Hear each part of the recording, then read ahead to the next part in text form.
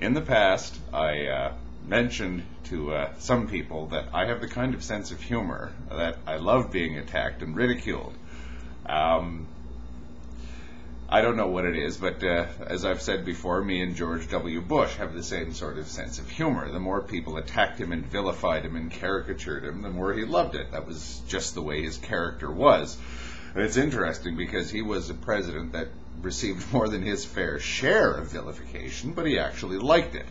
I don't know what it is in anyone's psychology that makes people enjoy being attacked, but unfortunately, for better or worse, I have that gene as well. So, just out of curiosity, I've uh, followed up on uh, uh, looking at some of the people that have responded uh, to my two videos on antinatalism.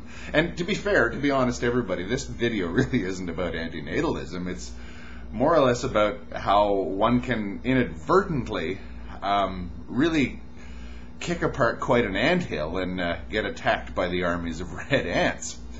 Um, I don't wish antinatalists, antinatalists any evil or anything like that. My concern was entirely with uh, people suffering from a dreadful um, condition uh, that even the antinatalists seem to underestimate, which is depression. It's one of the most horrible conditions that a human being can possibly have. Um, I got involved just because of that. Um, but the responses I've gotten are fascinating. And as I said, my sense of humor, which I think some people might find is a little bit impish, uh, has piqued my interest in uh, in following up a bit more. Um, if you're not interested in this sort of thing, I suppose you might not want to watch this video. Um, but uh, uh, I got a response. I got a video response um, specifically aimed at me by someone who had already blocked me. Uh, that's kind of interesting. Um, and uh, it's um, and people who are deliberately sort of admitting to twisting my words on this, um, sort of uh, are pursuing it based upon the fact that they're admittedly twisting my words. In other words, we know you, you said that you're not attacking antinatalism, but we believe that you are. So therefore, this is why we think that um, you're bad for attacking antinatalism. It's an interesting sort of situation to be in um, when you're confronted with what looks, at least from the outside, for all the world like a bunch of true believers.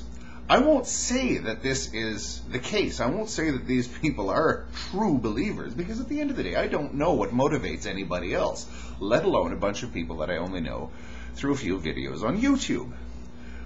But um, I mentioned to someone in my in the comments of a previous video that um, I noticed that certain religious people, even certain religious groups, are known for becoming extremely defensive and angry when you even question the fundamental tenets of their faith. I remember the famous video about the Scientologist who loses his temper with someone who is simply asking too many questions about his religion. I get the same vibe from these people. Now, in spite of what people may think, and it's telling that this uh, subject has come up in um, conjunction with depression, um, some people are unaware of the fact that your moods, can take control of your intellect. That's the horrible thing about depression. Highly intelligent people can have their own intellects hijacked by their depressed state. I make no claims whatsoever to being highly intelligent, but whatever shreds of intelligence that I do have were most certainly hijacked by my depressed state when I was depressed uh, a couple of decades ago, and I was severely depressed.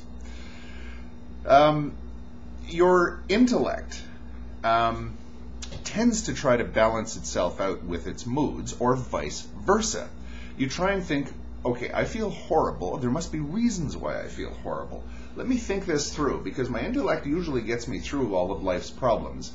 So um, maybe my intellect is missing the fact that my mood is actually correct here. So you try and reconcile the one or the other.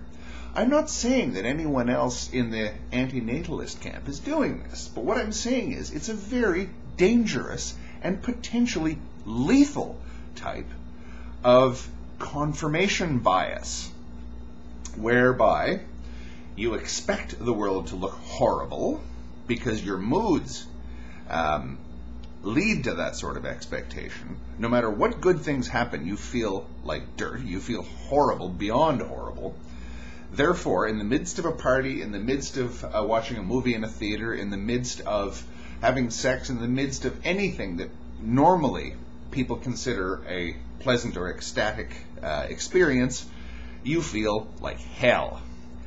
Therefore, your intellect says, ah, then there must be something about this, about the world and about all of its alleged pleasures, that I'm not getting right. Maybe these pleasures are all illusions and it's all suffering. Now, this is how one's uh, intellect gets, as I say, hijacked by one's moods. Uh, the mood simply won't go away, so the intellect attempts to make philosophical or intellectual sense out of it. It is a truly vicious circle. Um, highly intelligent people, if you ask me, are even more susceptible to this because they trust the powers of their intellect. They've been told all their lives how intelligent they are, correctly, if you ask me, and uh, they have appreciated the fact that they are intelligent. But in spite of all their intelligence, or perhaps because of, or whatever, they still feel absolutely horrible about life. Therefore, the intellect adjusts. Third time I'm going to say this, but that kind of confirmation bias is pretty much the worst there possibly is. Again, I don't claim that any of the antinatalists are falling into this trap, but I can imagine it's one of the worst traps that life has to set for people. Um, as for the uh, hate videos, um, oh, I shouldn't say this, but please keep them coming. Thank you.